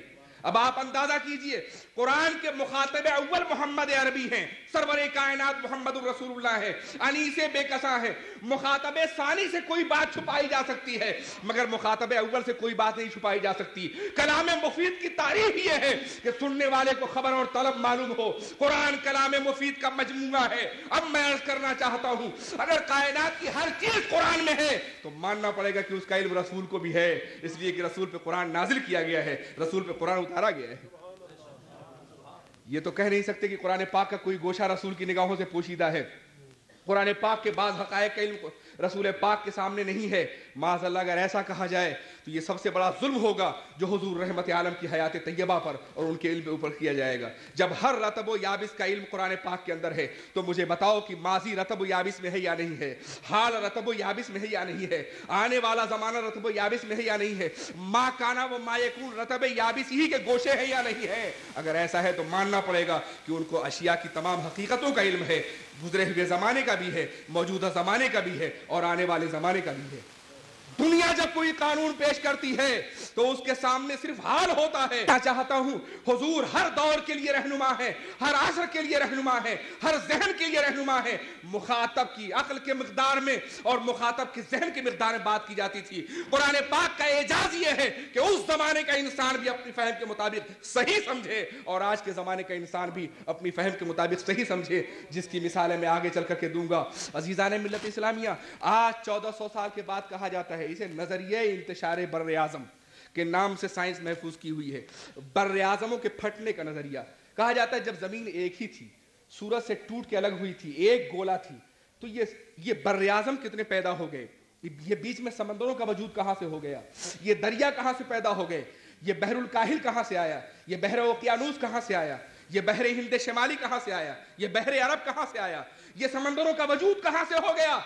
سائنس کا مزاج یہ ہے کہ جہاں عقل تھک کر کے بیٹھ جاتی ہے، وہاں اتفاق کا حوالہ دے دیتی ہے۔ ہمیشہ سے رہا ہے کہ جس کی یہ توجیح نہ کر سکے، اسے اتفاق کہہ دیتے ہیں۔ جہاں تک تحقیق کرتے جاتے ہیں، تحقیق کرتے جاتے ہیں۔ اور جہاں تحقیق نہ کر سکے اسی اتفاق کا نام دے دیتے ہیں۔ ہم اسی کو خدا کی قدرت کہتے ہیں۔ یہ فرق ہے ہماری بولی میں اور سائنسدانوں کی بولی میں۔ سائنس جسے اتفاق کہتا ہے، ہم اسے اتفاق نہیں کہتے۔ خدا کی قدرت کہتے ہیں۔ ارے، یہ ساری کائنات اتفاق کا نتیجہ ہے۔ یہ حسین انتظام اتفاق کا نتیجہ ہے۔ یہ سیاروں کا نظام اتفاق کا نتیجہ ہے۔ یہ ستاروں کی دنیا اتفاق کا نتیجہ ہے۔ یہ سیاروں کی دنیا اتفاق کا نتیجہ ہے۔ اتنا حسین انتظام۔ لاکھوں قدریں اور لاکھوں قدروں میں ربط و ضبط یہ اتفاق کا نتیجہ نہیں ہے۔ زمین پہ ایک گلاس پانی پھینک دو۔ اور سمجھو کہ آسٹریلیا کا جغرافیائی، فزیکل اور طبعی نقشہ بن جائے تو یہ دیوانگی ہوگی، نہیں تو اور نہیں کیا ہوگی؟ کہ ایک گلاس پانی پھینک کر کے تم آسٹریلیا کا سیاسی نقشہ بھی بنا دو، جغرافیائی نقشہ بھی بنا دو، طبعی نقشہ بھی بنا دو، یوں ہی پھینک دو اور بن جائے۔ یا تم اتفاق کی مثال سمجھنا چاہتے ہو تو کسی برتن میں دس نمبر ڈالو، ایک، دو، تین، چار، کر دس گن کر کے ڈال دو اور پھر اسے نکالنا شروع کرو۔ اور چاہو کہ ترتیب سے نکال لو تو قسم خدا کی قیامت تک نہ نکال سکو گے۔ اندھے برتن میں اگر کوئی چیز ڈال دو دس نمبر، تو ایک دفعہ ایک نکالو گے۔ دس مرتبہ کوشش کرو تو شاید ایک اور دو نکل آئے۔ ہزار مرتبہ کوشش کرو تو شاید ایک، دو، تین ترتیب سے نکل آئے۔ مگر دس نمبر تم زندگی بھر نکالنا چاہو۔ دس نمبروں میں اتفاق سے ترتیب ترتیب نہیں پیدا کر سکتے۔ تو جو کائنات میں دس نمبروں میں اتفاق سے ترتیب نہ پیدا کر سکتا ہو، وہ یہ دعویٰ کرے کہ یہ کروڑوں کائنات کی اشیاء ترتیب کی بنیاد پر قائم ہے اتفاق کی بنیاد پر۔ اتفاق تو دیوانگی ہے قسم خدا کی، اتفاق تو دھوکہ ہے، اتفاق تو فریب ہے۔ عقل کے بارے میں دنیا کا فیصلہ یہ ہے کہ فلسفہ کہتے ہیں عقل انسانی کی نارسائیوں کا۔ جہاں جہاں عقل انسانی تھک گئی ہے، وہیں نہ کوئی کوئی کوئی فلسفہ جنم لیتا ہوا نظر آتا ہے۔ اتفاق بھی اسی طرح کا ایک جملہ ہے۔ جہاں سائنس کوئی جواب نہیں دے پاتی، اسے اتفاق کہتی ہے۔ تو جب سائنس کے بعد اس کا کوئی جواب نہیں ہوا کہ زمین کیسے پھٹ گئی اور بیچ میں سمندر کیسے پیدا ہوئے، تو کہا کہ دھماکہ ہوا ایک۔ دھماکہ ہوا زمین میں۔ اتفاق کا دھماکہ۔ اور یہ زمین پھٹ گئی اور سمندروں کا وجود ہو گیا۔ پتا یہ چلا کہ سائنس کہتی ہے کہ اتفاق کا دھماکہ ہوا اور زمین کئی بر اعظم میں بڑھ گئی۔ مگر قرآن عظیم ارشاد فرما رہا ہے، والارض بعد ذالک دہاہا فاخرج ماہا ومراہا پروردگار عالم نے زمین کی تخلیق کے بہت بعد اسے پھاڑا، اس میں پانی بھی نکالا اور سبزہ بھی نکالا۔ پتا چلا کہ نظریہ انتشار بر اعظم آج کا ذہن کہہ رہا ہے، مگر نبی موعود و منتظر کے ذہن میں یہ بات پہلے ہی سے تھی، اس لیے کہ قرآن ان پر نازل ہوا ہے، یہ کتاب ان پر نازل ہوئی ہے۔ درود پاک پڑھیے۔ اللہم صلی علی سیدنا مولانا محمد اماد علی جود والکرم وآلہ الکرام اجمعین۔ آج کی سائنس قیامت کی قائل نہیں ہے۔ یہ کہتے ہیں قیامت ایک خواب ہے۔ لوگوں کو تسلی دینے کا ایک ذریعہ ہے، تسکین کا ایک سامان ہے۔ یا پرانے ارباب فکر نے لوگوں کے قدم کو صحیح راستے پر رکھنے کے لیے قیامت کا ڈھکوسلا گڑھ لیا ہے۔ یہ کہتے ہیں۔ لیکن ایک امکان کو یہ تسلیم کرتے ہیں۔ یہ کہتے ہیں کہ کائنات کے سیاروں کے نظام میں اگر خلل واقع ہو جائے تو قیامت آ سکتی ہے۔ کہتے ہیں یہ پوری کائنات جس حسن تدبیر کے ساتھ چل رہی ہے، جس عظیم نظام کی تابع ہے، اگر اس میں خلل واقع ہو جائے تو قیامت آ سکتی ہے۔ یہ سیاروں کا عظیم نظام ہے۔ یہ کہکشاں کی دنیا، یہ کہکشاں جسے سلمہ کا خرام رائے گا کہتے تھے لوگ۔ خدائی کہکشاں کہتی ہے جس کو وہ سلمہ کا خرام رائے گا ہے۔ اردو دنیا تو ہمیشہ اسی حد تک پہنچی کہ وہ سلمہ کا خرام رائے گا چلی ہیں آپ اور کہکشاں بن گئی ہے مگر اس دیوانگی کو کوئی نہیں جانتا کہ کہکشاں میں جڑے ہوئے ننھے ننھے ستارے اتنے بڑے ہیں کہ ہماری کروڑوں دنیا ان میں رکھی جا سکتی ہے اور وہ اتنے بڑے ہیں، اتنے بڑے ہیں کہ ہم یہاں سے بیٹھ کے ان کا اندازہ نہیں کر سکتے۔ ایک لاکھ چھیاسی ہزار میل فی سیکنڈ کی رفتار سے، سیکنڈ کی رفتار سے۔ ست سینکڑوں ستاروں کی روشنی چل رہی ہے اور آج تک پہنچی نہیں۔ پہنچ گئی ہوتی تو سمجھتے کہ کسی اس دنیا کی کوئی ابتدا نہیں، یہ ہمیشہ سے ہے۔ نہیں پہنچی ہے تو اس کا مطلب یہ کہ کوئی ابتدا ضرور ہے کہ اس طویل رفتار سے چلنے والی بھی روشنی اب تک نہیں پہنچ سکی ہے۔ ہزاروں سیارے نئے نمودار ہو رہے ہیں اور عالم یہ ہے کہ اتنا حسین کشش سکل ہے، اتنا منظم ہے ان کا انتظام۔ ایک دوسرے کی کشش کی بنیاد پر کہ ہزاروں سال میں سیکنڈوں کا بھی فرق نہ ہو، نہیں ہوتا، ورنہ قیامت آ جائے۔ یہ سارے مشاہدات ہیں ہمارے سامنے۔ ہم علم کی عظمت کے قائل ہیں۔ ہم علم کے وقار کے قائل ہیں، مگر آہ، دنیا کتنی اندھی ہو گئی ہے کہ علم کی قائل ہے اور مرکز علم کی قائل نہیں ہے۔ علم کی قائل ہے سر چشمے علم کی قائل نہیں ہے۔ علم کی قائل ہے، مگر اس ذات کی قائل نہیں ہے۔ جس نے علم اور شعور کا پہلا تصور ذہن انسانی کو دیا تھا، جس نے علمی انقلاب پہلی مرتبہ بپا کیا تھا، جو وہ کتاب لے کر کے آیا تھا، جس میں ہزاروں مقام پر ہے۔ افلا تتفکرون، افلا تاقلون افلا تنظرون، افلا تبصرون، افلا تشعرون۔ تم عقل سے کیوں نہیں کام لیتے؟ تم فکر سے کیوں نہیں کام لیتے؟ تم شعور سے کیوں نہیں کام لیتے؟ تم نظر سے کیوں نہیں کام لیتے؟ تم بصارت سے کیوں نہیں کام لیتے؟ تم بصیرت سے کیوں نہیں کام لیتے؟ تم ارادے سے کیوں نہیں کام لیتے؟ تم تدبر سے کیوں نہیں کام لیتے؟ دیتے چشمک کرے گی مجھ سے یا ایسی کہاں کی ہے؟ بجلی تو خانہ زاد میرے آشیاں کی ہے۔ جس قرآن نے عقل و تدبر کی دعوت دی ہے، اسی قرآن کا ماننے والا عقل کے پیچھے ہو جائے گا۔ عقل سے شکست کھا جائے گا، یہ کیسے ہو سکتا ہے؟ سر میں علم سے دور ہو گئی ہے دنیا۔ اور ہمارا کام یہی ہے کہ دنیا علم کی قائل ہے۔ ہم اسے علم کے سرچشمے سے وابستہ کر دیں۔ دنیا قائل ہے اس نظام کی۔ ہم اس نظام کے خالق کے قدموں میں دنیا کو لے جائیں۔ یہی ہمارا کام ہے۔ دنیا کا مزاج یہ ہے کہ نظام کی قائل ہے، خالق نظام کی قائل نہیں۔ اس لیے ایٹم بم بن رہے ہیں، تباہیوں کا سامان ہو رہا ہے۔ اسلام سے رشتہ ٹوٹنے کے بعد جو دنیا کو نقصان پہنچا ہے، اس کی وجہ صرف یہ ہے۔ ماضا خسر العالم بانحطاط المسلمین؟ مسلمانوں کے انحطاط سے دنیا کو یہی نقصان پہنچا ہے کہ خدا کا قائل ہو کر کے اگر کائنات کا اکتشاف کرتا انسان، تو کائنات کی تعمیر کرتا۔ لیکن خدا سے دور ہو کے کائنات کی تباہی کر رہا ہے۔ کائنات کو برباد کر رہا ہے۔ کائنات کو مٹا رہا ہے۔ ہول اور لرزے میں مبتلا کر رکھا ہے پوری کائنات کو۔ ایک بھی ایٹمی جنگ پوری دنیا کے لیے تباہی کا سامان بن سکتی ہے۔ اور اگر ایٹمی جنگ کو کوئی طاقت روک سکتی ہے، تو وہ گنبد خزرہ کا چھیچھاؤ روک سکتی ہے۔ رسول اللہ کا سایہ روک سکتا ہے۔ خدا سے فکر انسانی کا رشتہ جڑ جائے، انسان سمر جائے گا۔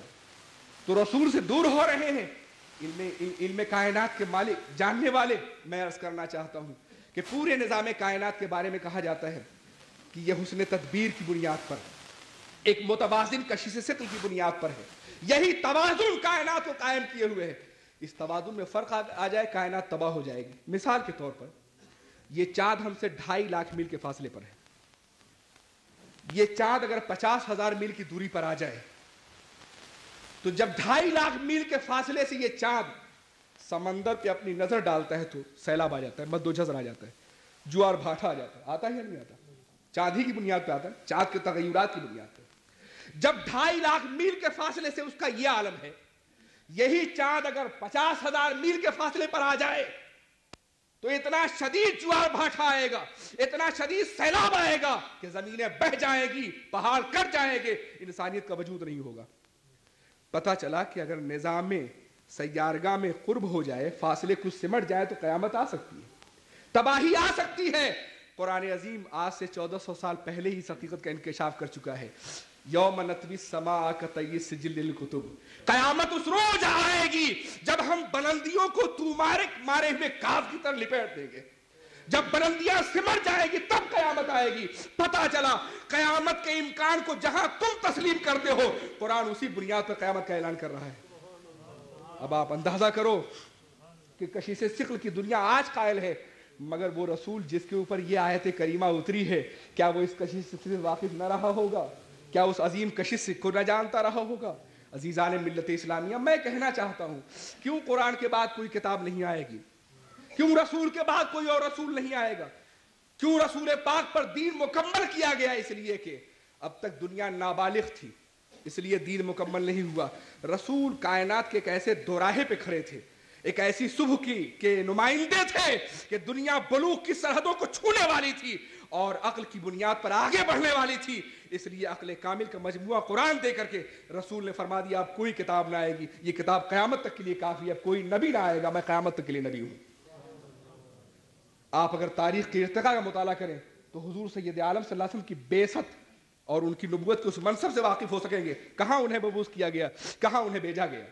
عزیزان ملت اسلامیہ، اب آپ اندازہ کیجیے آج سمندروں کا سفر کرنے والے حیرت میں ڈوبے ہوئے کبھی کبھی ایسا بھی ہوتا ہے سمندروں کے سفر میں کہ یہ کالا پانی ہے، یہ گورا پانی ہے۔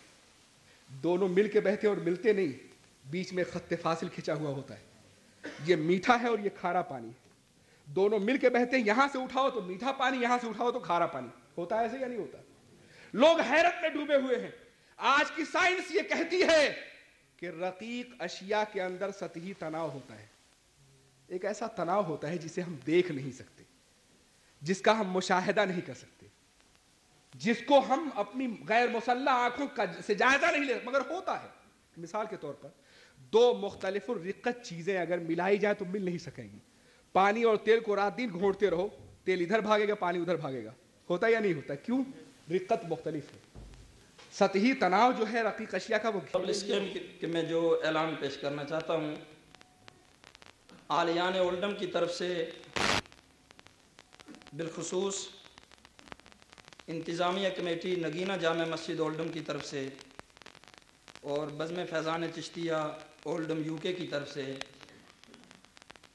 آج کی اس عظیم الشان عظمت مصطفیٰ کانفرنس، جو اولڈم کی سرزمین پر ایک تاریخی حیثیت رکھتی ہے، جس کی کامیابی کا صحرا، عدد قبلہ پیر طریقت، رہبر شریعت، آفتاب ولایت، پیر علاء الدین صاحب صدیقی، دامت برکات ملالیب کے سر پر ہے۔ آپ کا قلب کی گہرائیوں سے شکریہ ادا کرتا ہوں۔ آلیان اولڈم، انتظامیہ کمیٹی و بزم فیضان چشتیہ کی طرف سے ان تمام علماء کرام اور مشائق خیال سنت کا، کیونکہ وقت مختصر ہے، ایک ایک کا نام لے کر شکریہ ادا کرنا شروع کیا تو وقت کافی لگ جائے گا۔ قلب کی گہرائیوں کے ساتھ شکریہ ادا کیا جاتا ہے آپ سب کی طرف سے کہ قدم رنجا فرما ہوئے اور آج کی عظیم الشان کانفرنس بڑی ہی کامیابی کے ساتھ کامیاب رہی۔ کیا آپ یہ چاہتے ہیں کہ یہ کانفرنس ہر سال منعقد کی جائے؟ بھائی آپ کے اتفاق سے ہے۔ ٹھیک ہے، نام نگینہ جامع مسجد کمیٹی یا بس میں نے شروع میں کہا یہ اہل سنت کی کانفرنس ہے۔ ہر اس فرد کی کانفرنس ہے جو اپنے آپ کو اہل سنت کہلاتا ہے۔ کانفرنس ہونی چاہیے نہیں ہر سال۔ جو چاہتے ہیں ہاتھ اٹھا کر۔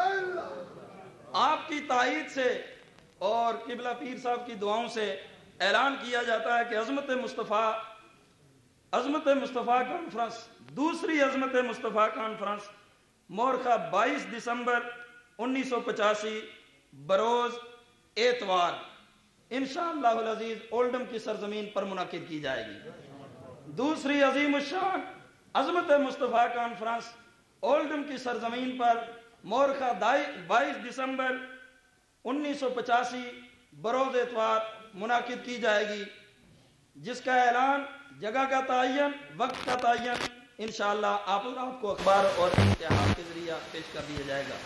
لیکن میں یہ ساتھ ساتھ سکتا ہوں کہ اگر حضرت قبلہ عالم، قبلہ پیر علاء الدین صاحب صدیقی یو کے میں ہوئے، تو یہ کانفرنس آپ کی زیر صدارت منعقد ہوگی۔ اور اگر پاکستان، آزاد کشمیر یا دنیا کے کسی خطے میں ہوئے، تو یہ کانفرنس اسی انداز سے منعقد ہوگی، سرپرستی آپ کہیں بھی ہوں، آپ کی زیر سرپرستی یہ کانفرنس منعقد کی جائے گی۔ اب آپ کے سامنے ہمارے معزز مہمان، ورلڈ اسلام، اسلامک مشن یو کے کے صدر، عالم بعمل مفتی بے بدل، جن کی کوششوں سے آپ حضرات نے گزشتہ دسمبر میں دیکھا کہ عظیم الشان تاریخ ساز میلاد النبی صلی اللہ علیہ وسلم جلوس نکالا گیا۔ پچیس نومبر جی۔ اس کے اندر حضرت مولانا مفتی کاشمیری صاحب کی بڑی کوششیں شامل ہیں۔ دیگر علماء کرام کے تعاون سے۔ پاکستان آزاد کشمیر میں آپ کی علمی اور عملی سرگرمیاں بڑی سطح پر کامیاب رہیں اور الحمدللہ آج یو کے میں لنڈن کے اندر آپ یہی فیوز و برکات تقسیم کر رہے ہیں۔ آپ کی خدمت میں درخواست ہے کہ آپ تشریف لائیں، اپنے ملفوظات گرامی سے بھی ہمیں نوازیں اور ساتھ ساتھ حضرت قبلہ عالم پیر اللہ الدین صاحب صدیقی، مدہ ذل علی کا تعارف بھی اپنی زبان سے خود کروائیں۔ نعرہ تکبیر! وہ پہلا نعرہ لگائیں جو شروع میں لگایا تھا۔ نعرہ تکبیر! لگاتا تھا وہ جب نعرہ تو خیبر توڑ دیتا تھا۔ لگاتا تھا وہ جب نعرہ تو خیبر توڑ دیتا تھا۔ حکم دیتا سمندر کو ترستا چھوڑ دیتا تھا۔ نعرہ تکبیر۔ نعرہ رسالت۔ ہاتھ اٹھا کر نعرہ رسالت نعرہ رسالت نعرہ تحقیق اس نعرے کا بلند آواز سے جواب دیں، بڑی اشد ضرورت ہے۔ اور ثابت کر دیں ہم صدیق کی صداقت کو بھی مانتے عمر فاروق کی عدالت کو بھی مانتے عثمان ذنورین کی حیا اور سخاوت کو بھی مانتے اور علی مرتضی کی شجاعت اور بہادری کو بھی مانتے ہیں۔ ہم صرف حضرت علی کے ماننے والے نہیں، یہ ثابت کر دیں ہم سب کو مانتے ہیں۔ اور کائنات میں اگر انبیاء کے بعد کسی ہستی کا مقام ہے، تو وہ ابو بکر صدیق کی ذات ہے۔ علماء کی موجودگی میں کہہ رہا ہوں اس عرش کے نیچے اگر انبیاء کے بعد کوئی ذات ہے تو وہ ابو بکر صدیق ہے۔ اس لیے جہاں جلسہ ہو اس نعرے کو زور شور سے لگائے اور ثابت کر دے ہم چاروں کے ماننے والے سبھی صحابہ کو مانتے ہیں، لیکن ابو بکر صدیق کو بھی، عمر فاروق، عثمان ذنورین اور علی المرتضی کو بھی مانتے نعرہ تحقیق۔ یہ بھی ہاتھ اٹھا کر پتہ چل جائے۔ نعرہ تحقیق۔ اولڈم کی سرزمین پر آپ کی تاریخ بن رہی ہے۔ نعرہ تحقیق۔ عظمت مصطفیٰ کانفرنس مشائق اہل سنت، علماء اہل سنت، عوام اہل سنت۔ مولانا مفتی محمد یونس صاحب کاشمیری۔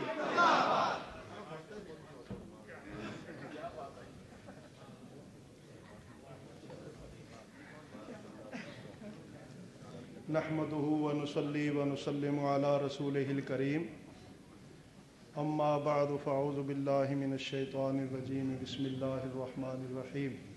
رب زدني علما. صدق الله مولانا العظيم. ان الله وملائكته يصلون على النبي. يا ايها الذين امنوا صلوا عليه وسلموا تسليما. اللهم صل على سيدنا مولانا محمد وعلى ال سيدنا ومولانا محمد وصحاب سيدنا ومولانا محمد وبارك وسلم.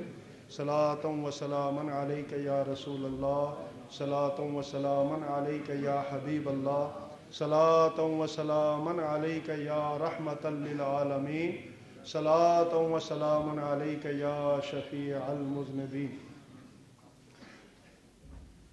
صدر گرامی وقار،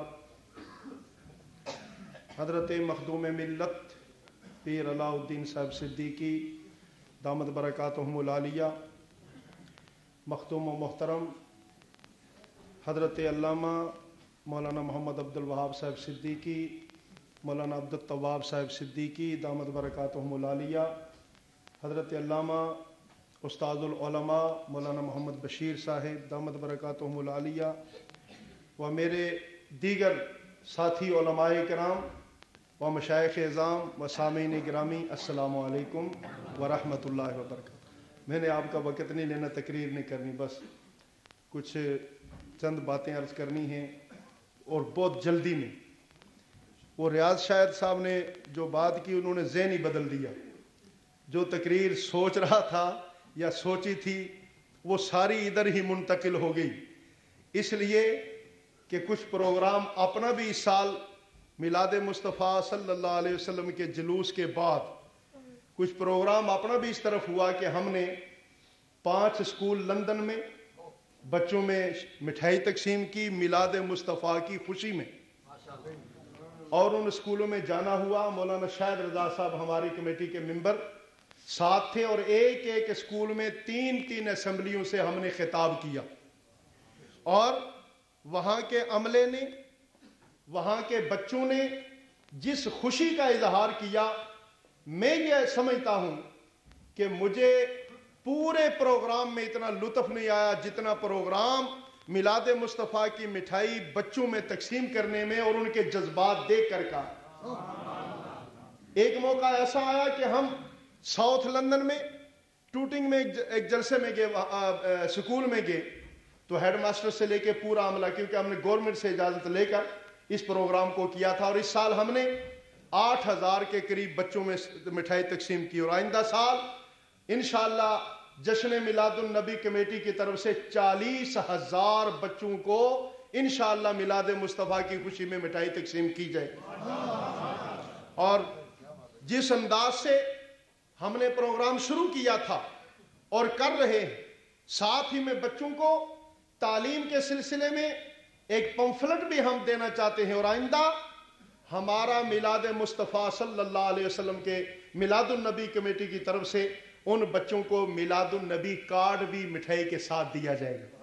ہم نے جو ڈبے بنائے تھے، امبالا والوں نے بڑے اسپیشل اور بہترین انداز سے میلاد النبی کی خوشی میں وہ بنا کے رکھے اور مانچسٹر تک تو حضرت پہنچے ہم، لیکن باقی علاقے رہ گئے۔ راجر بھی آئے تھے نا؟ ہاں اچھا۔ اولڈم یہ تو بہرحال انشاءاللہ چونکہ ریاض صاحب نے قرارداد اس سال پاس کرائی آئندہ سال یہ بھی شامل ہو جائے گا۔ انشاءاللہ ہم کوشش کر رہے ہیں۔ تو ساتھ میں ان بچوں کو اسلام کے بارے میں جو سوالات ہیں، وہ بھی انشاءاللہ ہوں گے۔ اور وہ بچے پھر تبلیغ کا صحیح ہمارا جو مشن ہے، وہ آگے چلے گا۔ اور اس میں جو خوشی محسوس ہوئی ایک اسکول میں وہ یہ تھی، جب ان کا ہیڈ ماسٹر، جب مولانا شاہد رضا صاحب کی تقریر کے بعد انہوں نے کہا کہ ہم اپنے نبی کی برتھ ڈے کے سلسلے میں پیداش کے سلسلے میں یہ مٹھائی کا تحفہ لے کے بچوں تمہارے پاس آئے۔ سب بچے گورے، یہودی، عیسائی، سکھ، ہندو، مسلمان، عربی اور یہ ترکی سب قسم کے بچے وہاں تھے۔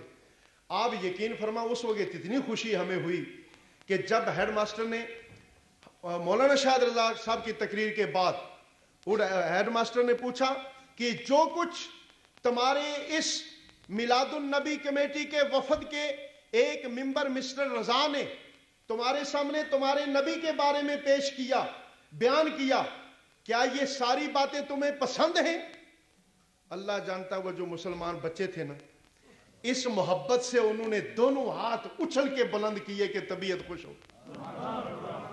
اور اتنی ہمیں، ہمارے آنسو آگے کہ اتنا جذبہ ان سکول میں پڑھنے والے آٹھ گھنٹے ان عیسائیوں کے اس یعنی پسنے والے ان کے نظریات میں جب اسلام اور پیغمبر اسلام کی عظمت کا معاملہ آیا تو ان بچوں نے کس جذبے اور محبت کا اظہار کیا؟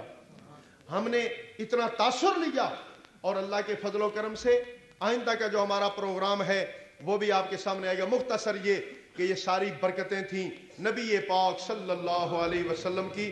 شاید رضا شاید صاحب آپ کو بھی اللہ کامیابی عطا فرمائے گا اور جس مشن پر ہم چل رہے ہیں اور انشاءاللہ تعالی وہ وقت بھی آئے گا کہ اس میلاد النبی کے عظیم جلوس کے بعد ایلیا والوں نے سرکاری طور پر جو میلاد النبی لندن میں بنایا جی ایل سی نے، اس کا عنوان تھا میلاد النبی صلی اللہ علیہ وسلم۔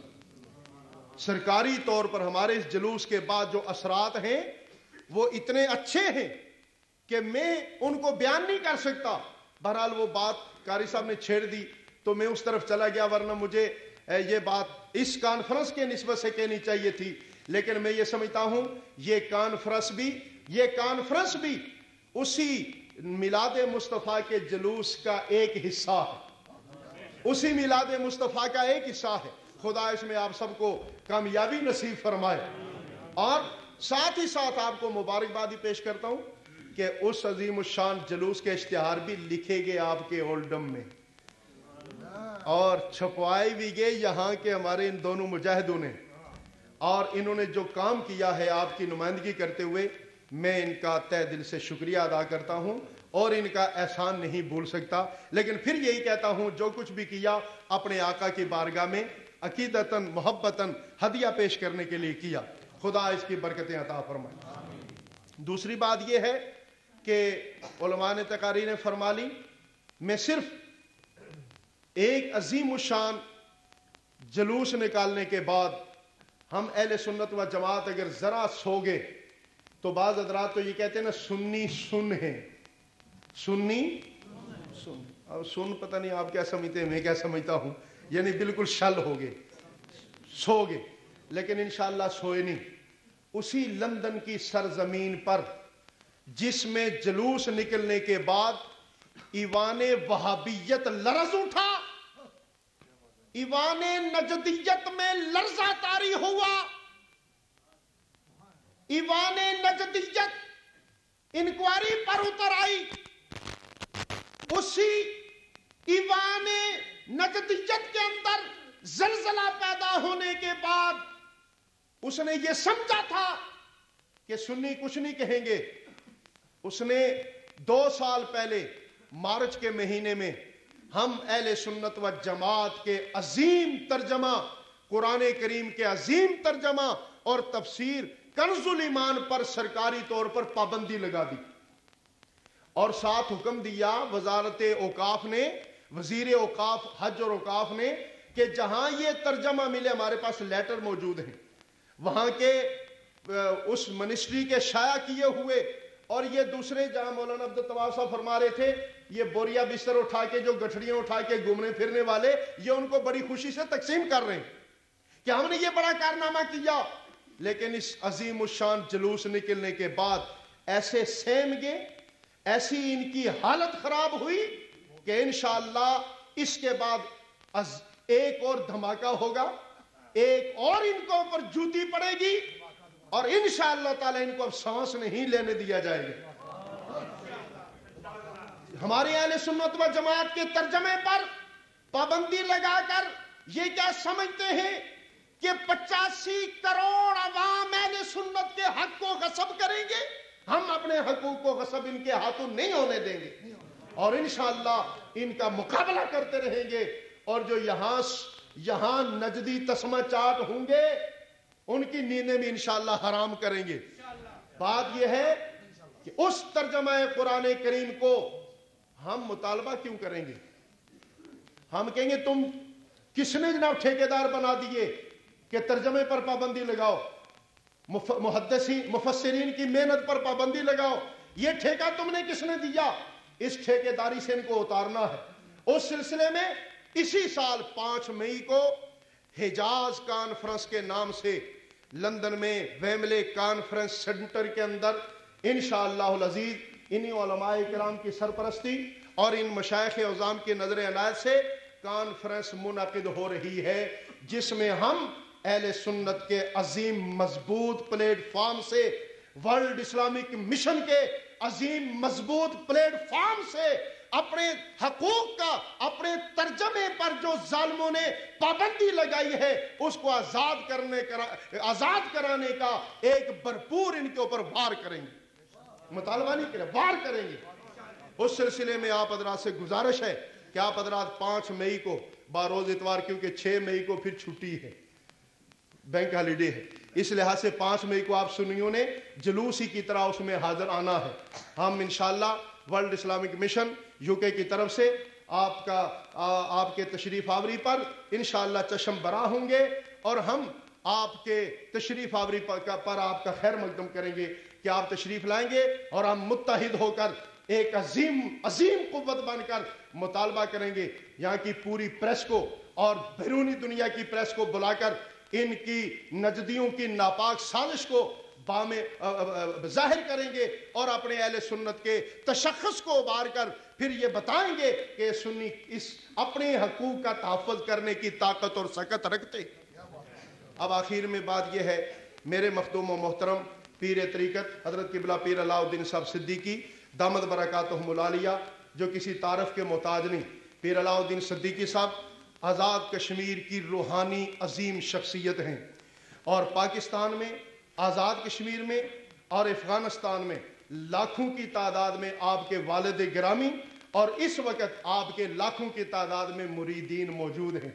اور اس جوکے کی سرزمین پر پیران ازام میں سے اول اول آ کر جنہوں نے کلمہ حق کو حق کو بلند کیا، دین اسلام کی اشاد شروع کی، وہ حضرت علامہ پیر اللہ الدین صدیقی صاحب کی ذات گرامی تھی۔ پیر اللہ الدین صدیقی بدز اللہ العالی اس وقت جماعت اہل سنت آزاد کشمیر کے صدر ہیں۔ اس وقت پیر اللہ الدین صدیقی دامد برکاتہم العالیہ اس وقت ورلڈ اسلامی مشن کی مرکزی عالمی کمیٹی کے عظیم رکن ہیں۔ اس وقت پیر اللہ الدین صدیقی انٹرنیشنل صوفی مشن کے ایک عظیم ممبر ہیں جو لندن میں اس کا ہیڈ آفس ہے۔ اور پیر اللہ الدین صدیقی ایک عظیم حلقے کے سربراہ ہیں۔ اور میں یہ سمجھتا ہوں، ایک طرف تو نیری شریف کا نور برس رہا ہے غلام محی الدین نیروی کا نور برس رہا ہے۔ تو دوسری طرف میں اپنی بائیں طرف دیکھتا ہوں۔ کاری خادم حسین صاحب کو تو گولر شریف کے پیر غلام محی الدین صاحب قبلہ رحمت اللہ تعالی علیہ کی وہ فیوز و برکات برس رہی ہیں کہ گولڑے والے سے بھی اور نیری شریف والوں سے یہ کام لیا جا رہا ہے۔ ادھر دیکھتا ہوں تو حضرت حضرت حضرت بعد انبیاء جس کا مقام ہے۔ اور کاری صاحب نے جن کے نعرے لگائے، نعرے لگوائے، وہ ہستی حضرت ابو بکر صدیق رضی اللہ تعالیٰ ان کی عظیم یہ اولاد میں سے بیٹھے ہوئے ہمارے دو دین کے ستون اور حضرت مناظر اعظم رحمت اللہ علیہ کے دونوں آنکھوں کے نور اور ان کے ورثے کے یہ عظیم مجاہد مولانا عبد الوہاب صاحب، مولانا عبد الطواب صاحب، مناظر اسلام، وہ بھی جلوہ گر ہیں صوفی محمد اسلم صاحب، دامد برکاتہم العالیہ موری شریف کے فیض یافتہ وہ بھی تشریف فرمائے۔ اور اس وقت استاد العلماء مولانا محمد بشیر صاحب کی بلا مدد اللہ علی، وہ بھی تشریف فرمائے۔ بات یہ ہے کہ یہ سارے موجود ہیں۔ اور پیر اللہ الدین صدیقی صاحب، اس وقت ہم اور سب، آپ سب کے مہمان گرامی ہیں۔ اور اپنے فیوز و برکات سے، اپنے الفاظ طیبہ سے حضور کی محبت کے پھول نچھاور کریں گے۔ میں پیر صاحب کے بلا کو کی خدمت میں بس اتنی بات عرض کر سکتا ہوں۔ اس لیے نہیں کہ آپ آزاد کشمیر کے، میرے علاقے کے نہیں، آپ کو اللہ نے جو مقام دیا ہے، میرے پیر و مرشد حضرت محدث اعظم پاکستان مولانا محمد سردار صبر رحمت اللہ تعالی علیہ بڑی عظمت اور عزت فرمایا کرتے تھے پیر اللہ الدین صدیقی، دامت برکات ملالیہ کی۔ اور دورہ حدیث شریف شروع ہونے سے پہلے جب کسیدہ بردہ شریف پڑھا جاتا تو حضرت صاحب فرمایا کرتے صاحبزادہ صاحب کو بلائیں صاحبزادہ صاحب کو بلائیں۔ تو دور، اس سے پہلے شرع عقائد کے کے منصبق میں بھی صاحبزادہ صاحب کو بلایا جاتا اور کسیدہ بردہ شریف کے پڑھتے وقت ہی بلایا جاتا۔ جی جس ہستی کا میرا پیر و مرشد ادب کرے، میں کیوں اس کا ادب نہ کروں؟ اور میں اسی انہی الفاظ کے ساتھ یہ عرض کروں گا کہ پیر اللہ الدین صدیقی دامت برکات و ملالیہ